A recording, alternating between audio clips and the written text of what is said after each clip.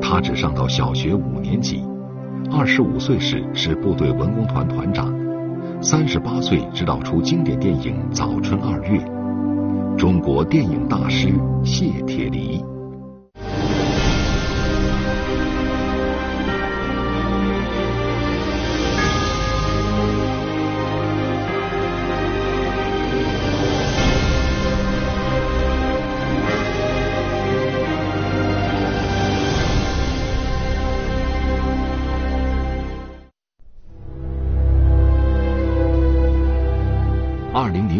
十一月十二日，第二十五届中国电影金鸡奖颁奖典礼在海南三亚隆重举行。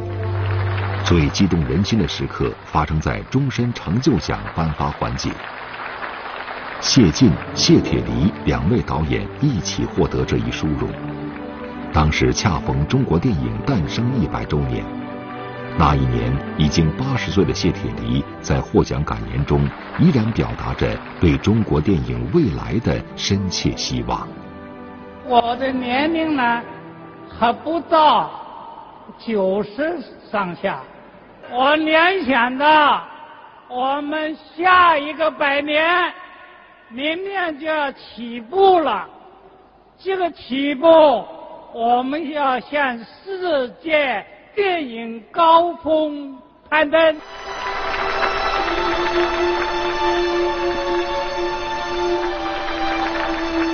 当谢铁骊放眼展望中国电影又一个百年来临的时候，为了继往开来，他身后曾经走过的电影创作之路，也引起电影专业研究人员的高度关注。有一种说法，叫一个导演一生只拍一部作品。这就是法国所谓的作者电影理论，呃，但是其实就是也可能就是说，呃，他是一个导演的多方面。那么我们看到谢铁骊创作是非常丰富多彩的，除开《八方走雨》《早春二月》这个代表性作品之外，也改编过《红楼梦》，特别是样板戏《智取威虎山》。很多人并不知道，曾经陪伴八亿中国人的只有八部样板戏，而其中有五部样板戏电影都是由谢铁骊导演的。不管是面对顺境还是逆境，谢铁骊都能找到自己的创作角度，这也引发了人们的好奇。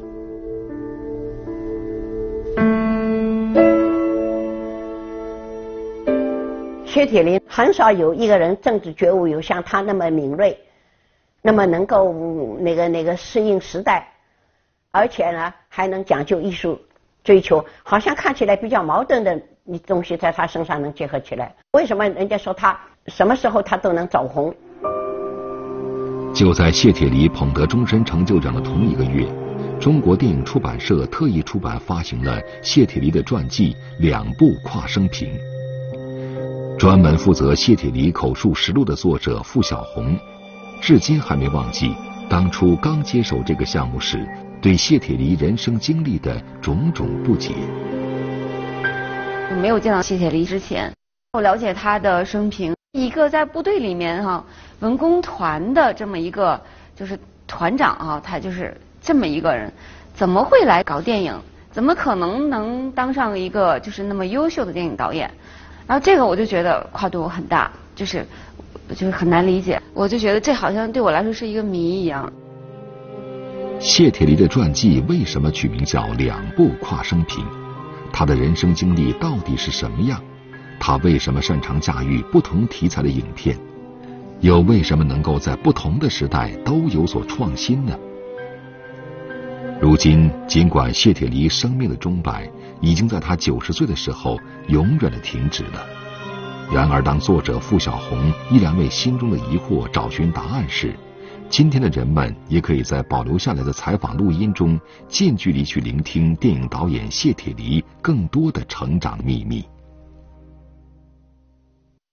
我家一直就是在淮阴城里，当时老淮阴城就叫清江浦，那个天下粮仓黄粮经过淮阴。就经过我们清江浦那个地方。清朝末年，谢铁骊的爷爷曾在清军陆营下属的伪当营里担任守备，专门缉拿贩运私盐的非法盐商。后来，随着清朝的衰亡，运河不再像以前那样热闹，谢家家道中落。谢铁骊的父亲做过管账先生，当过文书，他的薪水支撑着全家人的开支。谢铁骊出生前，上面有八个哥哥姐姐。因为家境贫寒，其中有六个不幸患上白喉症，都夭折了。一九二五年十二月二十七日，谢铁骊出生了，他成为谢家上下最疼爱的一个孩子。从谢铁骊后代的采访录音中，人们能够感受到谢铁骊童年的温暖美好。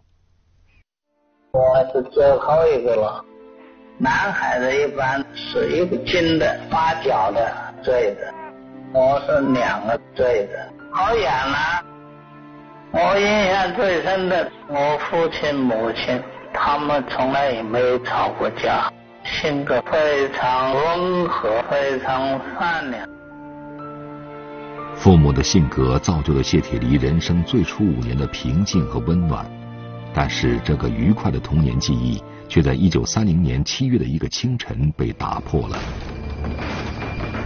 而这个突发事件的产生，与谢铁骊的大哥谢冰岩有着直接的关系。谢铁骊曾在一篇回忆文章中记录了当时的场景，在五岁时就听到“共产党”三个字音。当时我的大哥谢冰岩一夜未归，清晨六时许，军警闯入家门，母亲拦门应对，我躲在房门后，不断听到“谢冰岩是共产党，你的儿子是共产党”。接着就搜查大哥的房间，搜出共产党的传单。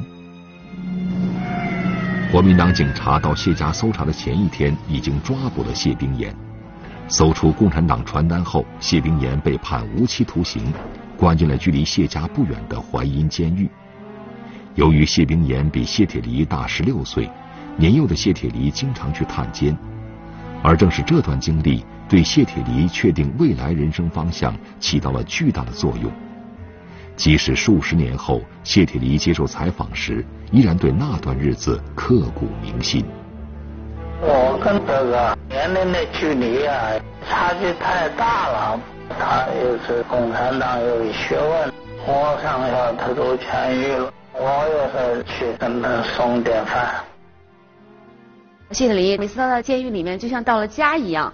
然后所有人都认识他，然后他到处走，到处去玩乐园一样，没有让他觉得内心有阴影，反而是看到长兄的这种平静和接受，对他来说就是说，当苦难啊或者是不公正哈来临的时候哈，就是接受他。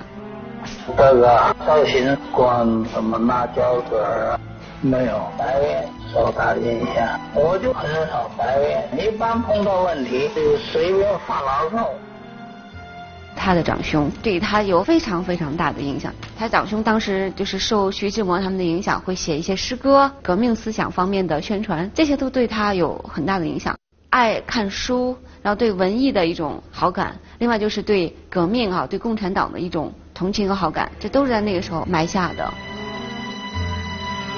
像我们少年时代，由于同情我的哥哥呢，就对共产党啊，就感情就不一样，并不是说我们思想认识上的进步，主要是因为家庭的亲缘关系，而对共产党就受同情有个好感。古人常说长兄如父，身陷监狱的谢冰岩给了谢铁骊不一样的关爱。他在弟弟幼小的心中种下了一颗革命的种子。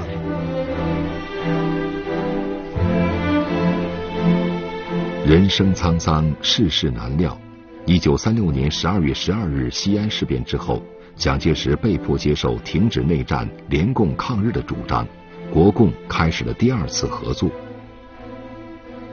在这个背景下，被国民党关押了七年的谢冰岩得以释放。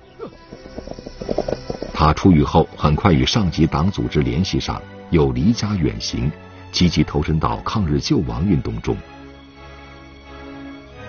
当时十二岁的谢铁骊还在上小学，但是在战争年代求学并不容易。一九三八年，由于日军飞机的轰炸，学校停课，小学六年级还没有开始读，谢铁骊就被迫辍学了。两年后，一九四零年九月的一天，已经参加新四军从事党的新闻工作、担任文化特支书记的谢冰岩，特意回家接弟弟谢铁骊，将他送进新四军淮海军政干部学校学习。谢铁骊终于可以像长兄谢冰岩一样投身革命，加入新四军。而那一年，谢铁骊才十五岁。谢铁骊是家里面最小的儿子，就父母亲哥哥对他是非常非常的宠爱的。一个小男孩离开家，然后到一个谁都不认识的地方，然后呢需要自己照顾自己自己的生活，这就是。一个一个男孩哈，就是他成成长的特别重要的一步。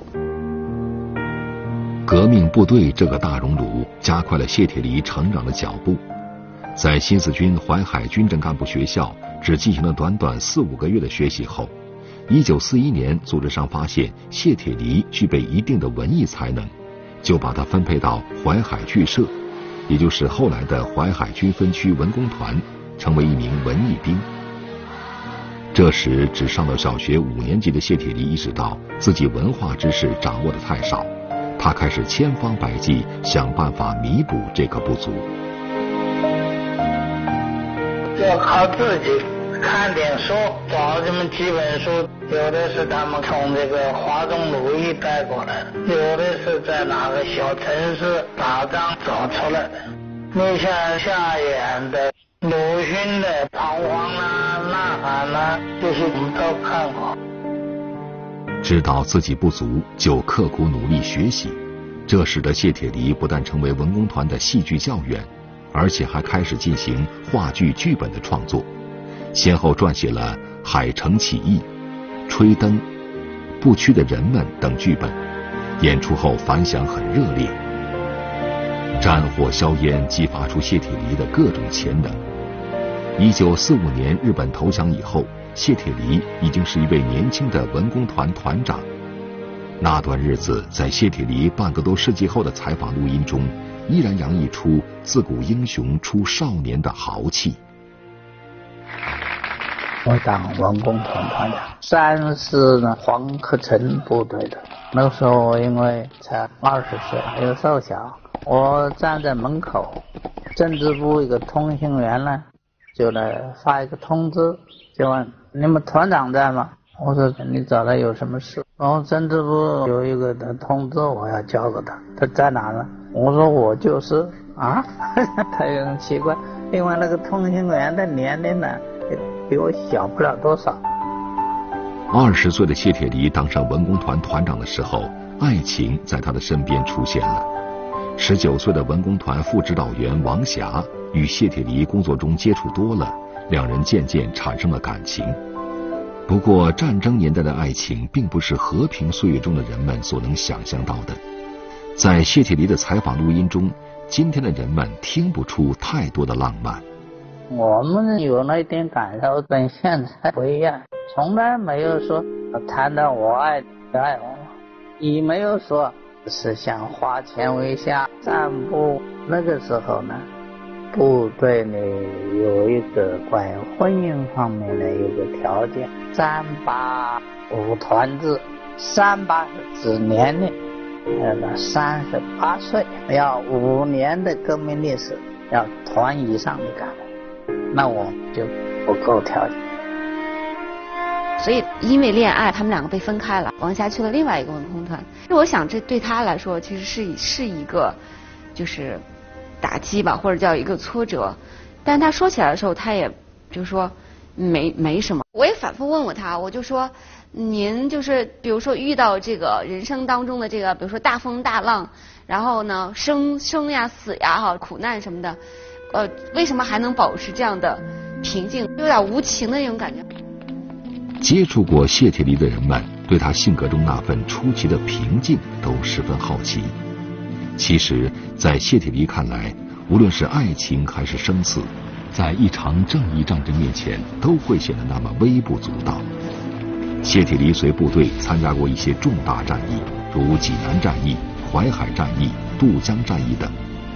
那些在硝烟中前赴后继的战友，把身影永远的留在了谢铁骊的记忆中，相伴终生。你都年轻，都是十几岁。你看着那个朝那个城墙上爬，爬爬爬就朝下掉，烧焦的贴到墙上了。在攻击以前。我进的一个班，我在那个班里跟他们都很熟了。发动总攻以后，搬回了，我再到那个班里去，有一两个人我还认识，其他都不认识。一个战役下来，起码一大半全没了，我当然难过。但是我们那四个人也没留了，我们文工队做后勤，帮助心理站长抬这个历史的尸体。战争是残酷，你想死多少人？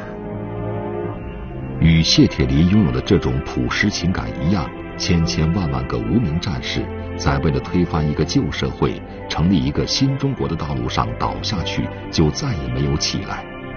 谢铁骊铭记着这些战友的牺牲，这也深深的影响着他在战争结束后对自己事业方向的选择。一九四九年年底，为了加强新中国电影事业的发展，中央组织部发布了一道命令，要求全国各个军的文工团抽调三名骨干分子进京，到中央电影局工作。这其中就有谢铁骊。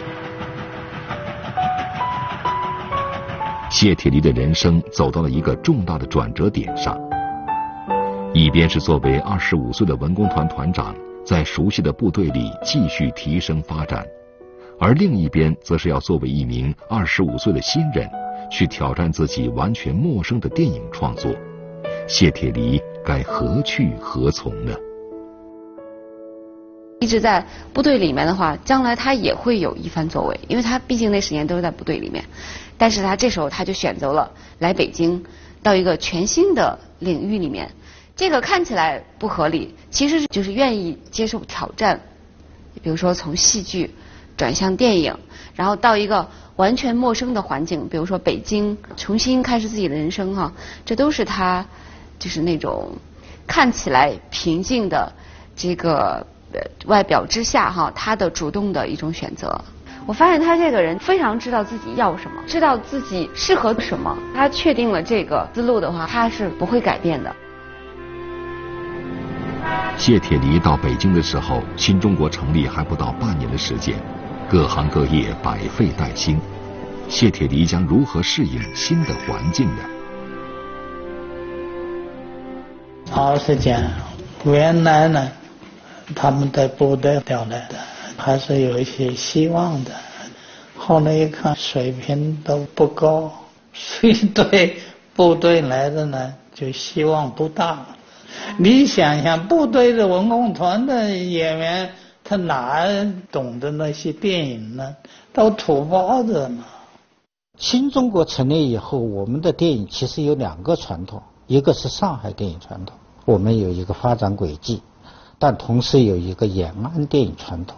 那么谢铁骊作为一个从部队文艺骨干调到电影界，重要的一点，你还得要找到自己的一个立足点。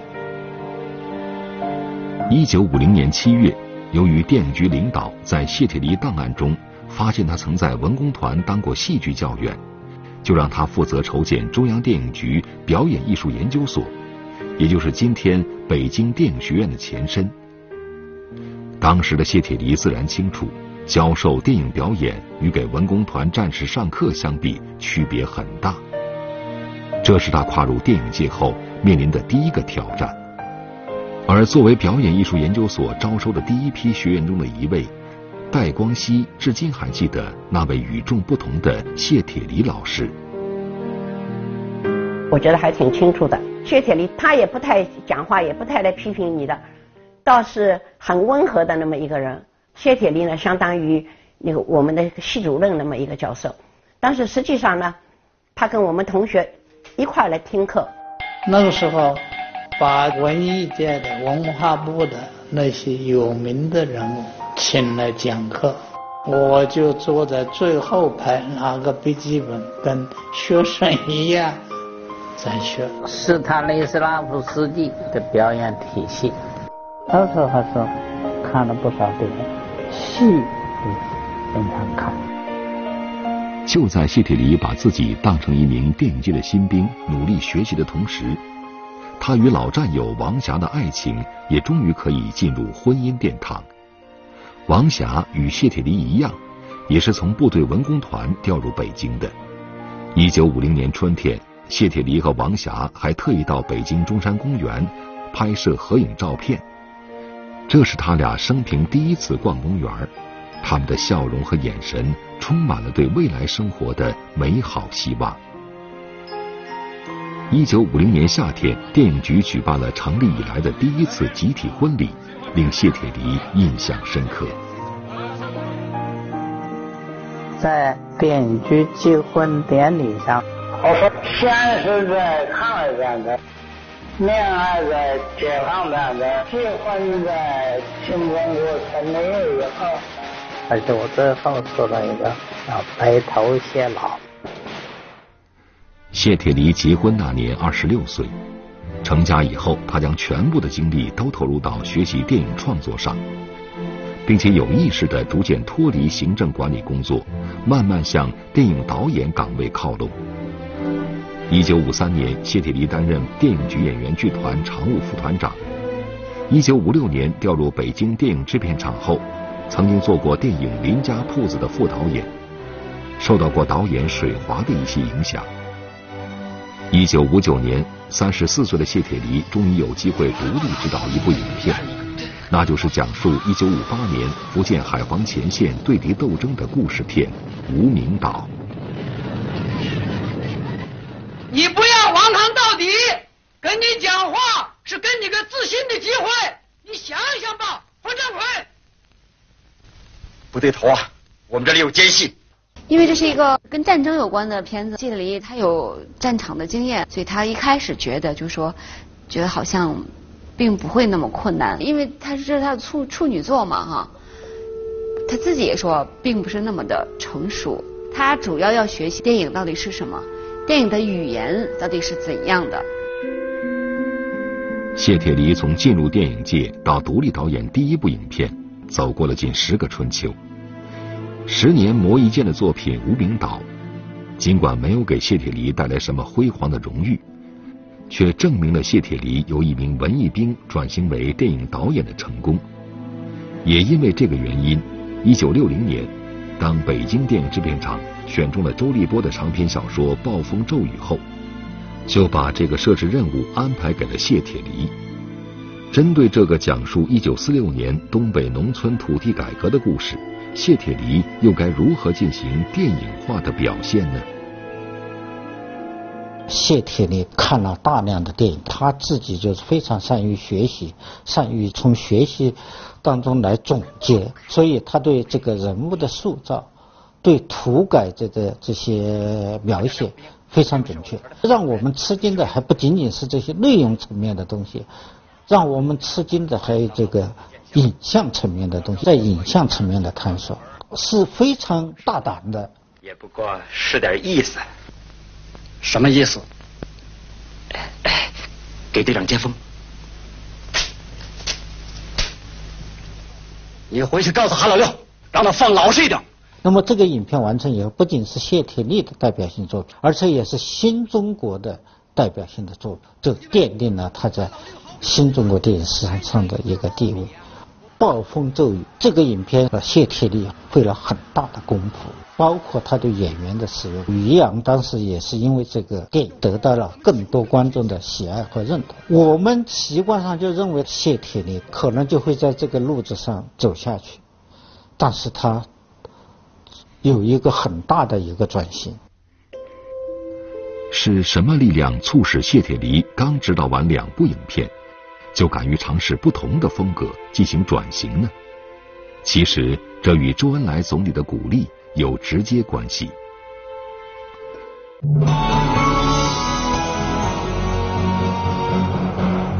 一九六一年六月，中宣部、文化部在北京新桥饭店召开全国文艺工作者座谈会和全国故事片创作会议。谢铁骊执导的《暴风骤雨》在会上放映，得到了与会人士的一致好评。六月十九日，周恩来总理亲临会场，他批评了当时文艺工作中流行的套框子、抓辫子、挖根子、戴帽子、打棍子的五子登科风气，强调寓教于乐，鼓励文艺工作者要解放思想。周恩来总理的讲话带给谢铁骊很大启发。这周总理这话说的很准确，要寓教于娱乐之中，他每一部片子都有那种创新的探索，要遵守艺术创作规律。我读了很多书，八五四以来的名著基本上都读了。后来我就改编《早春二月》。谢谢来到北京，到了早春二月的时候，这个特别就是一种。扬眉吐气，然后意气风发、斗志昂扬那种感觉。一个人在做他自己真正想做的事情，拍他真的想拍的东西。我能感觉到他说在拍就改编呀，尽管辛苦，然后拍摄的时候啊，就是很快乐。谢铁骊执导的第三部影片《早春二月》，改编自柔石的小说，讲述了一九二六年大革命失败后。苦闷彷徨的知识分子肖剑秋来到芙蓉镇教书，和寡妇文嫂还有同学妹妹陶兰之间发生的心路故事。你爱他？嗯，不，你这是同情，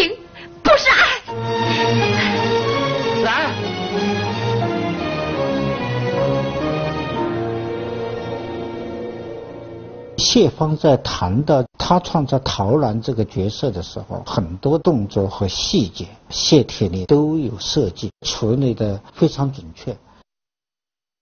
你为什么这样的看着我？因为我还从来没有这样看过你呢。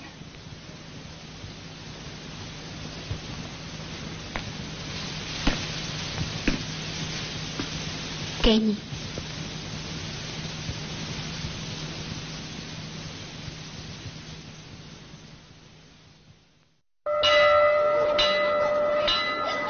什么事啊？肖先生，快！彩莲的妈妈吊死了。全教室的教员一下都回到了镇定了。肖剑秋正在批学生作业，他非常震惊，要演示了。我就在哪里表现他的心情呢？就是他那个是毛笔嘛，要插这个笔套，这个笔笔套这个手抖了就插不进去。哎，这个就是表示他内心的激动，表面上又掩饰。我们看到谢铁骊在创作当中，他是有自己的坚持，又能够让观众接受，所以他的整个的叙事往往到来，然后通过铺垫完成情绪升华。这也是马克思所强调的，就是说你的倾向。你的思想，你想要表达的东西，一定要隐藏在情节和场面当中，在情节和场面的当中，自然而然的流露出来。我们现在的很多电影直奔主题，把一个口号喊得非常响亮，但是它没有艺术感染力，它不能有效的去让我们观众认同。谢铁骊有很深厚的生活基础，又善于学习和接受不同的艺术风格，他就有可能创造自己的风格。早春二月这个影片，十八次过桥、三次走，这些经典段落都在中国当代电影史上留下了浓眉重彩的一笔。早春二月成为了我们新中国电影的一个经典。这时候啊，很明显他还在。谢铁骊，然后这呃这张也是早春二月的工作照哈，呃这个是他。如今人们在中国电影博物馆里参观导演谢铁骊的展位时，看到的影片就是他的代表作《早春二月》。然而，当年这部影片完成后的命运并不顺利。尽管在1961年选择拍摄《早春二月》这个题材之初，谢铁骊是响应新桥会议方针，但是当他完成这部影片时，已经是一九六三年。当时的创作方向已经发生了改变，谢铁骊的《早春二月》就显得格格不入。因为片中塑造的萧剑秋这个主角是个具有人道主义精神的小资产阶级分子。其实这个风向已经变了，就说这个片子宣扬了这个人道主义、人性论啊。这人人道主义和人性论当时是就是就是资产阶级的资本主义的。谢铁骊当时吧，就是说实话也是当头一棒。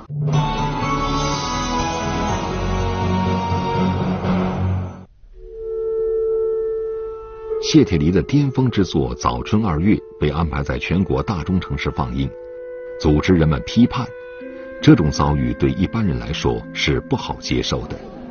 然而，经历过战火洗礼的谢铁骊意志力并不那么脆弱，相反，他依然保持着自己性格中的那份平静。回忆起那段时光时，谢铁骊的语气里充满乐观的情绪。我们就要劳动。这个劳动呢，那个时候既既没有什么可劳动的，你已经没有什么，就是我们那个当时还是有个大的煤堆烧暖气啊，烧什么的，就从把这个煤堆要到要要挪到那个那个方向去，就拿锹啊，那么多人呢。那一都要弄了好几天呢，劳动好几天呢，那我去，挪完了以后呢，又没事儿做了，再挪回来，我我们说倒霉呀。谢铁骊用一种自我解嘲的办法度过了那段岁月。一九六八年，谢铁骊的处境出现转机。由于谢铁骊是十五岁就参加了新四军，又是从部队文工团转入电影界的，这样的履历使得他有资格被安排导演第一部样板戏电影《智取威虎山》。同志们，冲啊！那个时候提出两个，一个你们要源于舞台，再一个你拍电影要靠舞台，发挥电影的手段，一句台词、一个唱腔都不能改。拍这个嘛。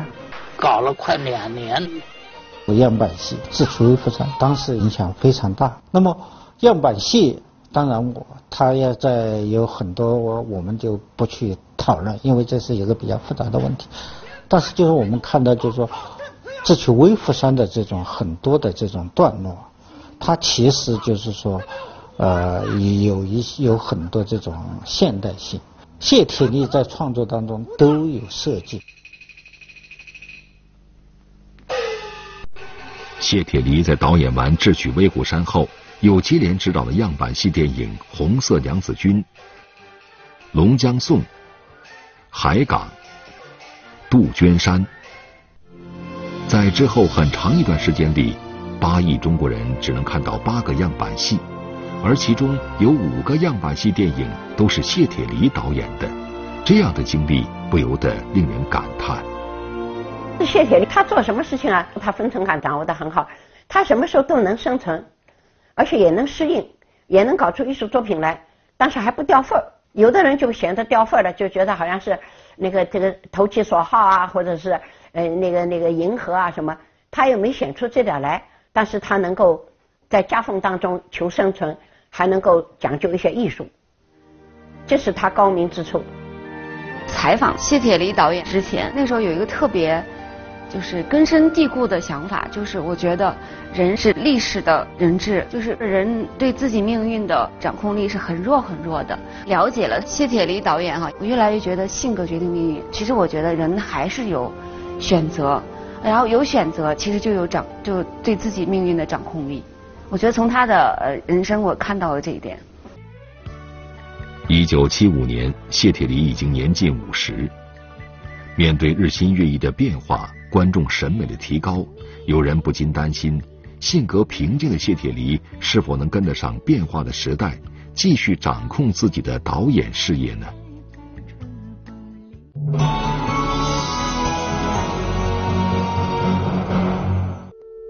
我这个嘛感情呢，幅度启动变化不是太大的，就人家有时候跟我开玩笑，那你这个当导演的，怎么处理情感问题？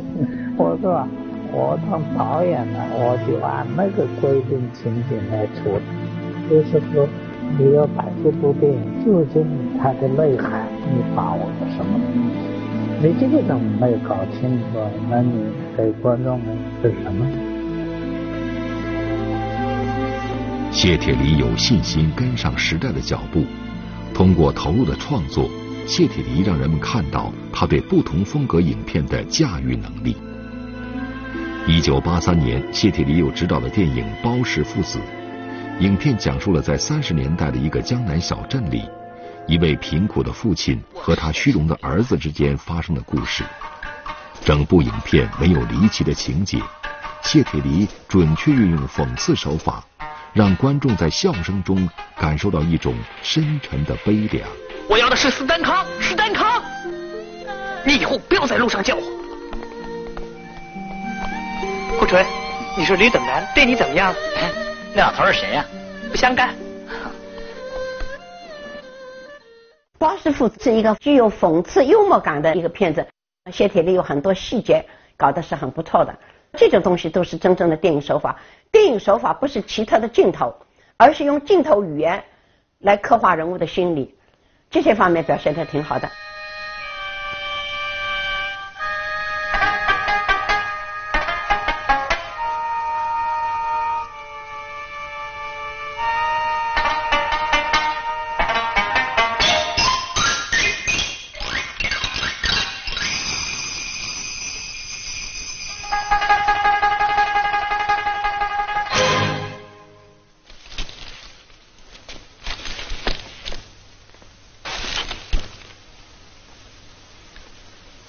毛衣是去年做的，现在穿起来还跟新的一样。